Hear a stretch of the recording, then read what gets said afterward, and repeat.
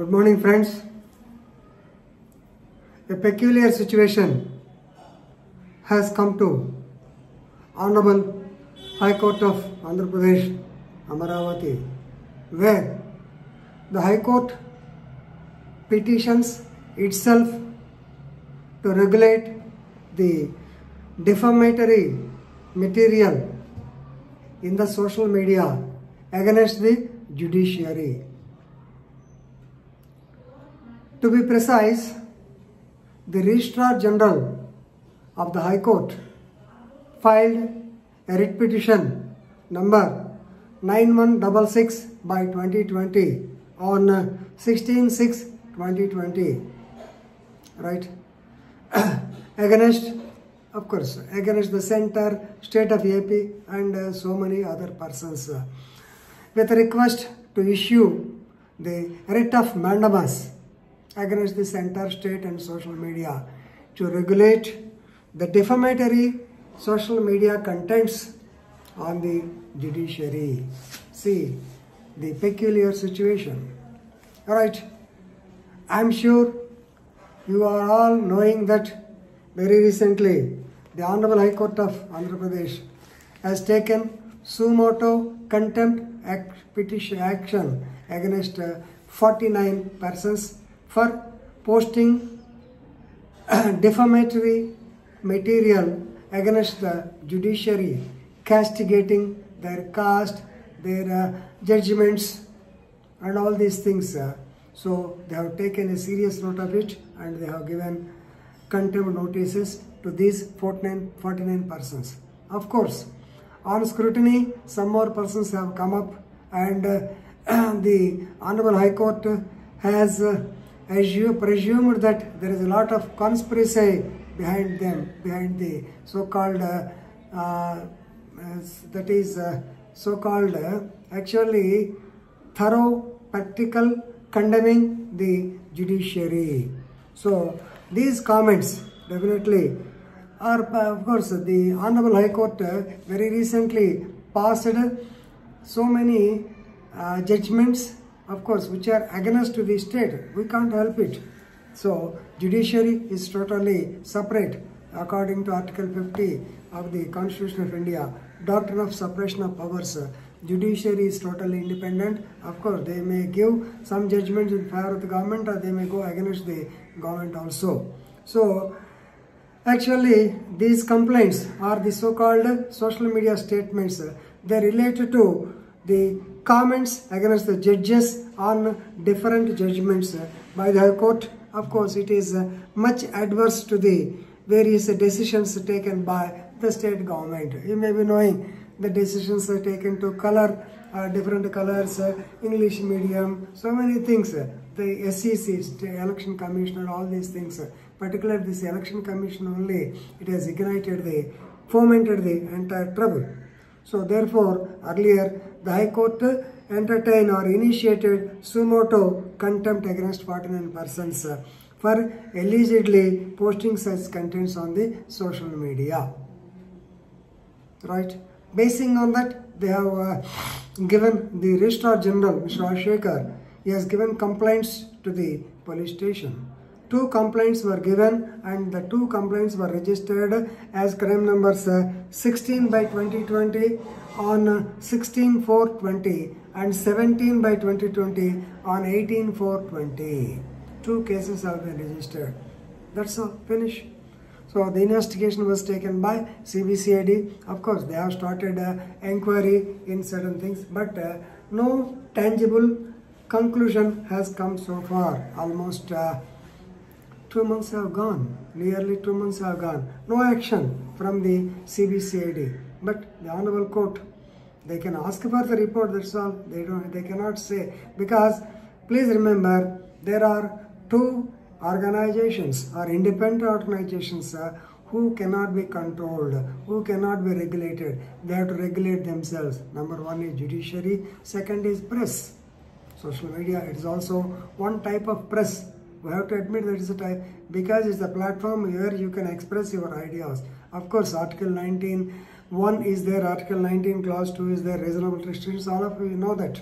But still, the social media nowadays, it has become a platform. We are simply, we are not able to assess as which is the true news and which is false news, which is fake news, which is correct news, all these things. Uh, they are left to the persons who are studying the same.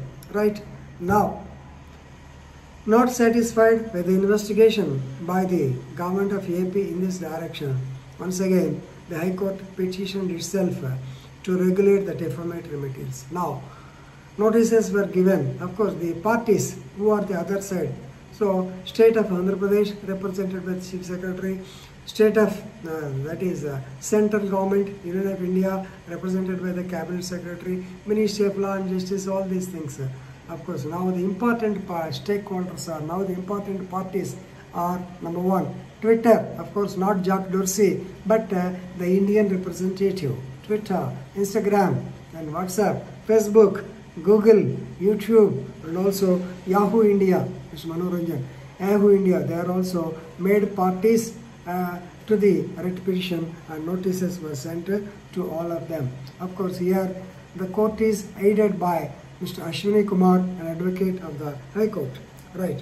Now, the petition filed by Advocate Ashwini Kumar to the High Court, it seeks directions uh, to the police to take action in the FIRs 16 and 17 by 2020 because they were given against, these complaints were given against unknown people who posted the defamatory, scandalous material on the social media platform. The police have to find out as to who they are. Already 49 persons were identified. Who are the others? Right? And also, this petition seeks a direction from the High Court to the social media platforms to devise self-regulatory framework to prohibit posting of uh, the so-called defamatory, discriminatory, incriminatory and abusive contents on their platforms, particularly with reference to the judiciary in India and to remove all such posts, comments, tweets and videos which are the subjects of the FIRs. Now, this is the problem, self-regulatory mechanism. Now, we have to go back.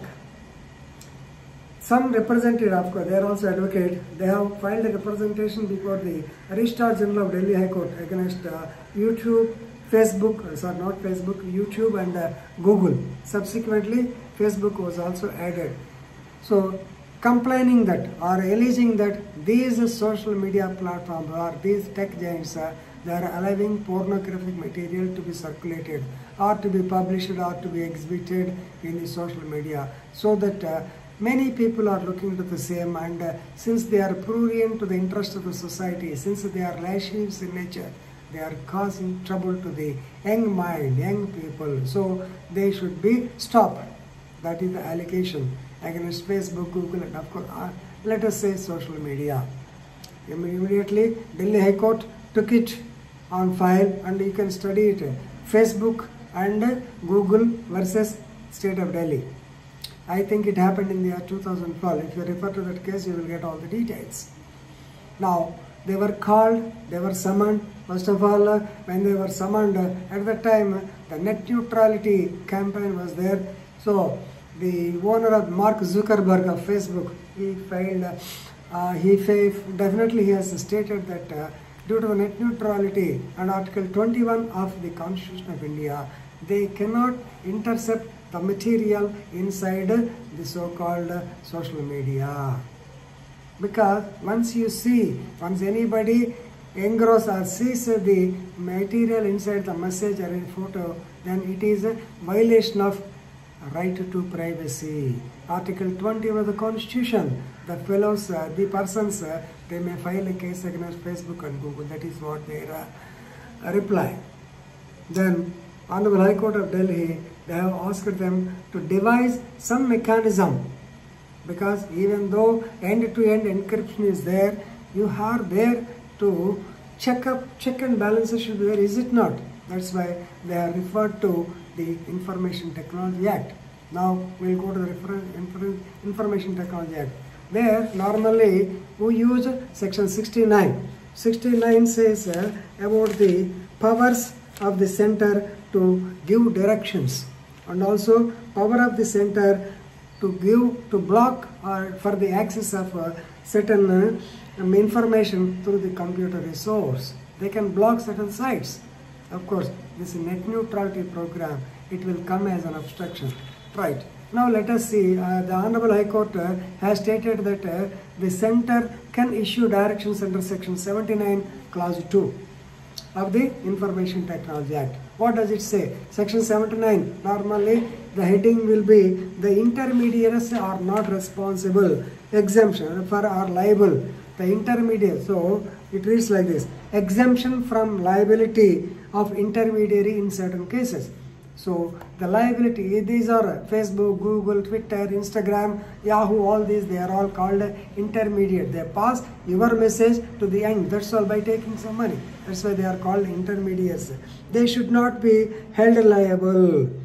But they will be held liable when their, uh, of course, section 79 clause 2 is enough.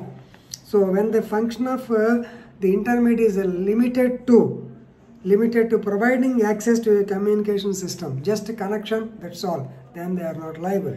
Then uh, if the intermediary does not initiate the transmission, he does not start the transmission, the transmission who is the subscriber starts the transmission.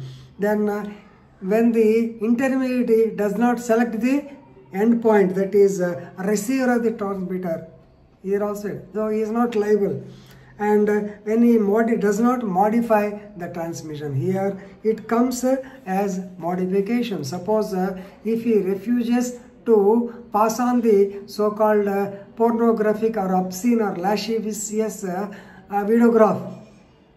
If he does not transmit it then he is liable. Right? Now now the point in class c this is more important. The intermediary observes due diligence and also observe such other guidelines as the central government may prescribe. If the government prescribes certain guidelines, yes, they can go through the content. If the content is lascivious nature or if the content is prurient to the interest of society, if the content is totally obscene, if the content is totally pornographic, if the content is totally explosive and if the content makes uh, uh, the people to wage war against uh, that is volatile speeches, all these things, then they have to come under the garb of the section 79 clause 2 so therefore the intermediaries of course now they are uh, extend now they are operating also. Very very not about i think one year back uh, the whatsapp account of mr cm ramesh this an mp i don't know whether he, mp or not uh, it was totally deleted. Then he come, uh, of course, he leveled certain allegations, of course, he asked them, then WhatsApp people told them, because your so-called WhatsApp site uh, sends volatile or uh, uh, very explosive messages, we have stopped. Then even for the Twitter also, now they are doing. Anyway, so according to section, why don't you apply section 17 clause 2? Further, directions may be given to the center to frame guidelines under section 17 clause of the IT Act, thereby security, securing protection to the judiciary. So, but it will definitely be an objection to Article 21 or Article 19, Article 19 of the Constitution, freedom of speech. Of course, there also there is a, a reasonable restriction, but these are self-regulatory. This is more important. I don't know. Right. Anyway, failure of the center on, on the social media giants is uh, sought to be declared as illegal and unconstitutional. They are the foreign law or the foreign advocate. they come into existence. Of course, net neutrality, all these things, uh, definitely they will be a bar. But anyway, previously, Delhi High Court fought on the same subject Facebook and Google versus of Maharashtra, self-regulation should be there. Of course, now they have devised a mechanism and uh, that can be extended to Andhra Pradesh also. That's why fact check app is also there. The government introduced, of course, here the main, uh, of course, I do not know the, I do, I should not mention the names of the people who are uh, hesitating or who are putting the comments against the judiciary. But anyway, it's not good. No, you can you can definitely uh, you can comment on the judgment you should not comment on the judges always judgment can the magistrate failed to appreciate the evidence like that Anyway, so this is a good judgment, good order. Now they have given notices. We do not know the outcome. Let us see, wait and uh, see the outcome. Thank you.